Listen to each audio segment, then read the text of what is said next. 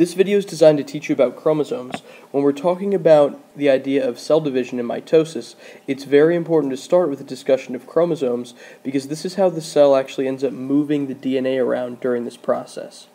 If we take a look at this first picture, one of the things it's showing you on the left-hand side over here is a cell. So we have the membrane around the outside and then the nucleus in the middle. Inside of the nucleus are these little X-like structures. Those structures are the chromosomes. Uh, to give you an idea of what these are, all of your DNA is inside of the nucleus. And in, um, if you remember the prokaryotic cells that we looked at during the chapter on cells, they're kind of a mess on the inside because the DNA is scattered all over the place. Well, that's pretty much what the nucleus of a eukaryotic cell looks like. Now, in order to go through the process of cell division, the cell has to move that DNA around, and it has to be able to move a new set of DNA into the new cell that's being created at the end of cell division. That would be nearly impossible if the DNA was a jumbled mess inside of the nucleus. So one of the first things that happen during the process of mitosis is that the DNA, which is usually all coiled up, ends up condensing down into these little X-like structures. Now, depending on the species, uh, there's going to be a different number of chromosomes. Uh, for example, for people, you have 46 chromosomes. You get 23 from mom and 23 from dad. Uh, chromosomes eventually will have this X-like shape to them, although they don't right away. So we'll, we'll talk about um, like how that comes about in a minute. But the most important thing to remember about chromosomes is it's just condensed DNA. And I like this picture because it shows how like the DNA kind of coils up and wraps around and condenses down into these different chromosomes. Uh, to give you a better idea for the individual structure of the chromosome, we'll look at this one. Uh, what this is showing you first is an unduplicated chromosome on this side.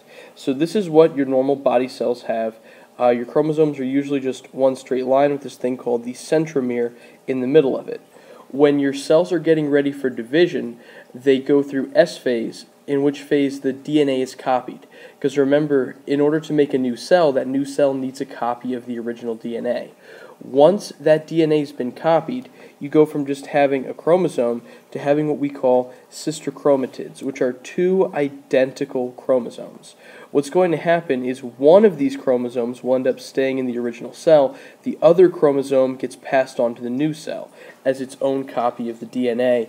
Uh, the reason I like this picture is it shows these different color bands, and uh, these actually do have slightly different coloration. We'll look at some images of actual chromosomes in class, and you'll see that there's different bands of color. Now they're not necessarily, you know, red or pink, but there's different tints to how dark the different sections of the chromosomes are, and those are the genes that are being coded for. So maybe this is the gene, you know, for hair color, this is a gene for eye color, you know, different things depending on which chromosome it is in your body. Uh, but the most important thing to take away from this one is the terminology of sister chromatids when there's two duplicated chromosomes. You've got one on one side and a perfect copy on the other, and then they are attached together at the centromere in the middle. So keeping in mind that these things are what allow your body to move the DNA around from uh, one spot to the next during that process of cell division. So just to, uh, to kind of recap the major ideas, uh, this first one actually I just sort of mentioned, but um, each of your cells do have a set number of chromosomes. You know, for example, for people, uh, we have 46 chromosomes. For uh, something else, for example, if we look at uh, fruit flies, they have 8 chromosomes. Uh, carrots have 18 chromosomes.